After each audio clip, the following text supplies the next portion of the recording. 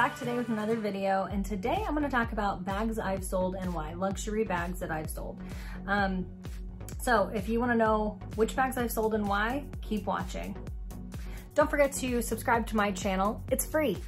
Like my video and if you've sold any luxury bags, why don't you make a comment below and let me know what they were and why you sold them. So start off, I had the Speedy 40 and the Monogram. Um, I will put a picture in, maybe right here or have it zoom past.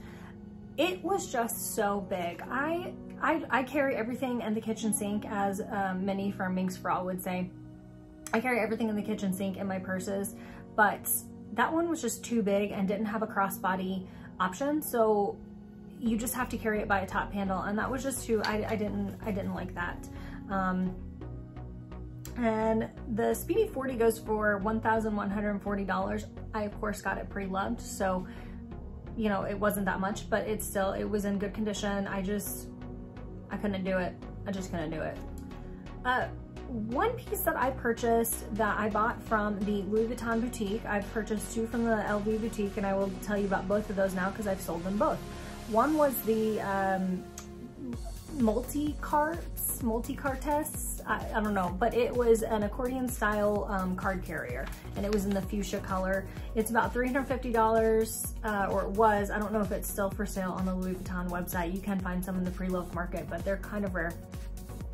I did not like it at all. I felt like every time I put stuff in it, because it's accordion style, you put stuff, you know, cards down in it, I felt like it was just bulging it out so much that I was gonna end up causing damage or popping the zipper.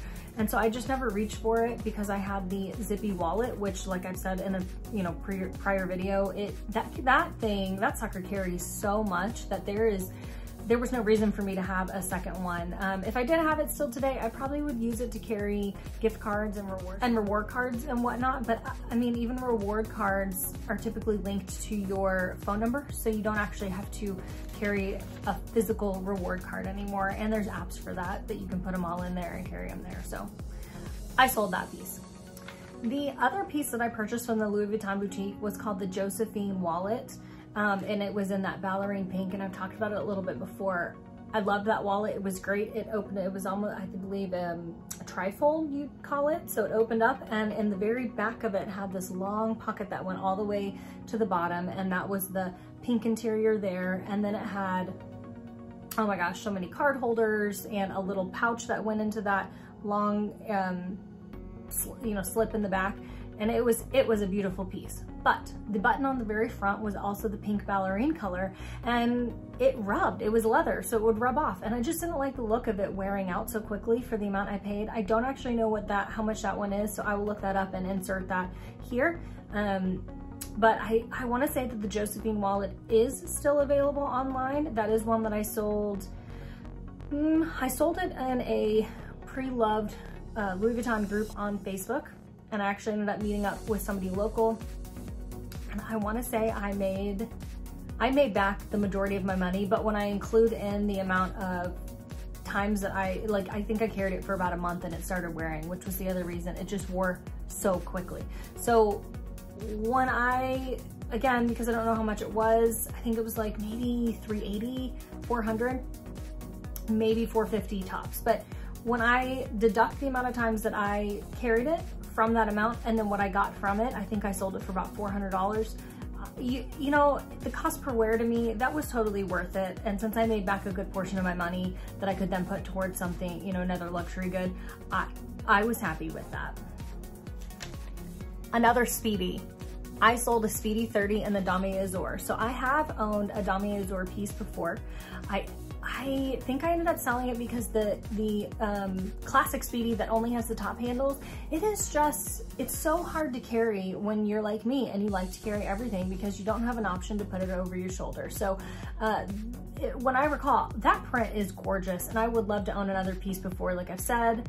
Um, so I'd like to own another piece again, but I don't know when I will do that. And if I do, and it is a Speedy, it would be the Speedy Bandoulière because it has that option, that crossbody option.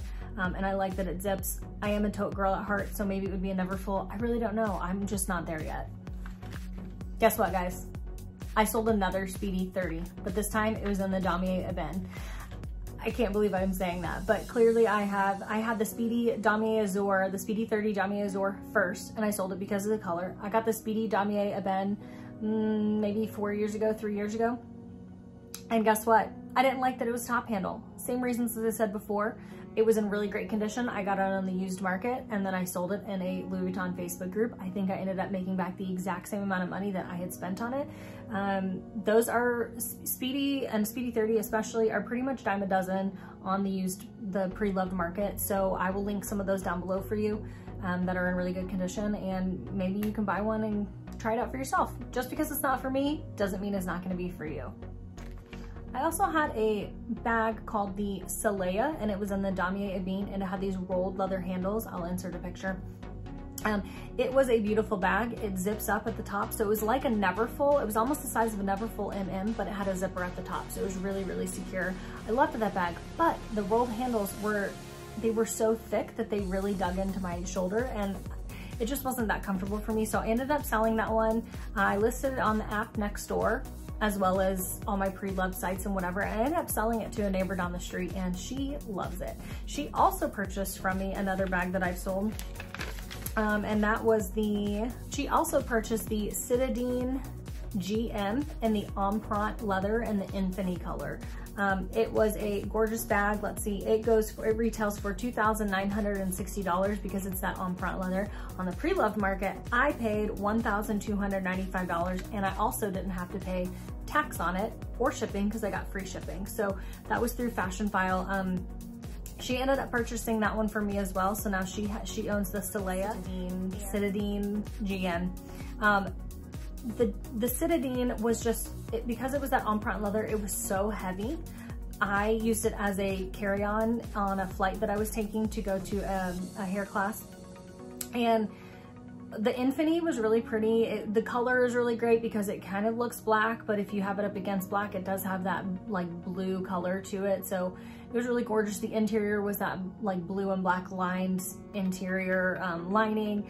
Um, I just ended up not ever carrying it because it ended up being so heavy with all my stuff in it. Uh, on its own, if I could just carry the purse without anything in it, what's the point of that?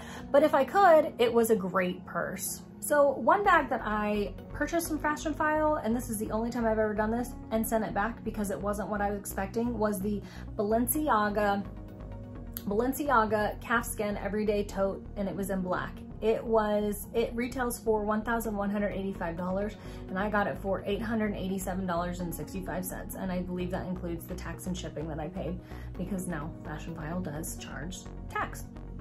Uh, the reason I sent it back, so I was just trying to kind of branch out of the, the Louis Vuitton world for just a minute and see what other brands were out there that I really like, maybe that I would want to start incorporating more of. And it just, compared to the pictures, it was so much smaller than what they showed in the pictures. And on top of that, um, the straps, the way they were, they did not, they didn't feel secure. And I know how much I carry my purses and I know like the Neverfull straps that they're, they're really sturdy and strong and they are made to take a lot of weight, but it just didn't feel like because these, these straps were that, um, really soft, supple leather. I will say that for Balenciaga, it was a great leather. Um, but it was just too, it was just too flimsy. It wasn't big enough. I was afraid that with all my stuff in it, I was gonna end up pulling those straps off somehow. And I was, I would be devastated if I did that on a, oh, almost thousand dollar bag. Like, I don't know what I would do. So probably just sit and cry for a day or two, maybe years. Years. And then another small leather good that I purchased that I ended up selling was my um, key pouch in the color Poppy. It was a beautiful piece. It it held a ton, like you could get a whole bunch of cards and whatever in there. It would hold your keys because it had a key ring chain on it. Um, it those retail for $455 and I paid $380. The reason I ended up getting rid of that one is simply I just, I didn't love the color. I, thought I did. Again, I tried to branch out and, you know, get out of my normal browns and black color bags. But you know what? Those are just a go-to for me. Now, when I do my bag wish list that I'm going to film, I have some bags that are in a they're a colored bag and I think because I think they're so beautiful I'm drawn to all of them the poppy color was just too much for me it's just uh, even inside of a bag, it just was too much. And I was afraid that it was gonna get color transfer because sometimes those lighter colors get color transfer. So I, I was just a little nervous with that. I ended up selling it on a Facebook uh, pre-loved group and I got the exact same amount that I paid for it. And so I was, I was very pleased with that. And last but not least is I had, I have had one travel travel bag by Louis Vuitton and it was the Keepall 50.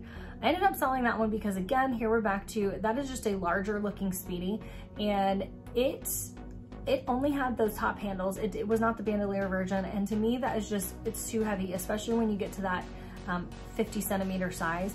You're going to be putting so much in there because it's so big and it would have been a great overnight bag for you know taking a small weekend trip with my husband or whatever but overall, it just, it, it, didn't work for my lifestyle. I also, you can, that I think that's the last size that you can carry on to an airplane. And to me, um, I don't know if you've ever gotten onto airplane and as you're getting on with your carry-ons, they say, oh, we don't have room, so you're gonna have to check that bag. Like, that just makes me nervous. I don't want my bag, my, my luxury bag that I've paid so much for to be put underneath the plane uh, last minute or whatever. I just, I wasn't comfortable with that. And then even if you put it in the overhead bin, sometimes people are not, they're not careful. They don't, they're not considerate of your other people's stuff. So I decided to sell that one. I can't remember, I think I paid, Again, pre-loved. I think I paid like three, 325 for that. Really great deal. And I ended up selling it for $440 to Fashionphile. So that is one that I ended up making a little bit of money on. And actually ended up, they would have given me $400 cash for it, or with a store credit, they would give me $440. So I took a store credit because clearly I'm going to be purchasing more more items in the future and probably selling more items to them in the future. So I will, um, I'll let you know how that goes, how that whole process with selling with them. It's been a little weird because of the quarantine and them not working or not being open or whatever, but um, it, has been an okay process overall. But so those are the those are the bags that I have sold and why, including a few um, small other goods that I've sold. So let me know what what pieces have you purchased and then ended up selling. You thought you were gonna love but you didn't or you had had for so long. Maybe you um, use that money to fund towards some you know another luxury piece. But let me know in the comments down below. Don't forget to, don't forget to subscribe to my channel. Hit that like button down below. And hit that notification bell so that you're notified every time I post up new content. I post up so much you know hair luxury uh, makeup all that stuff. So hit that like button. You don't want to miss out. Bye.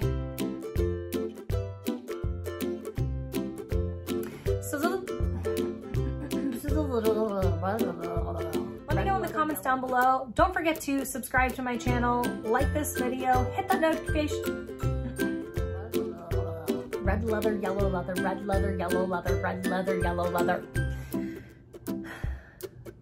So I also